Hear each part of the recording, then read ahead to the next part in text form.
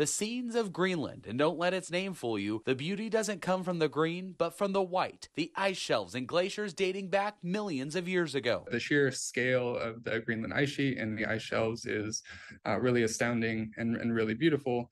But of course, the changes that we're seeing uh, are also um, a bit concerning. The ice shelves are melting. San Jose State Assistant Professor Mike Wood and a group of international researchers use data from satellites, aircrafts, and other models to see an unprecedented increase in melting across Greenland's northern eight ice shelves. One third of the shelves' total mass is gone. We've seen an increase in ice melting on the undersides of these ice shelves over the past 20 years.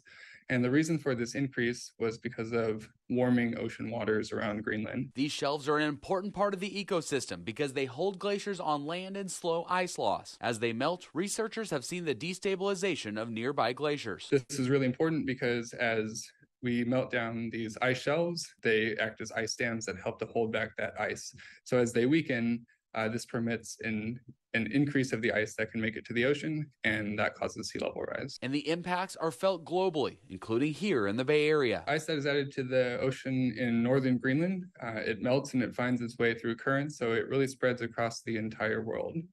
Of course, sea level rise is one of the most concerning components of our in our changing climate.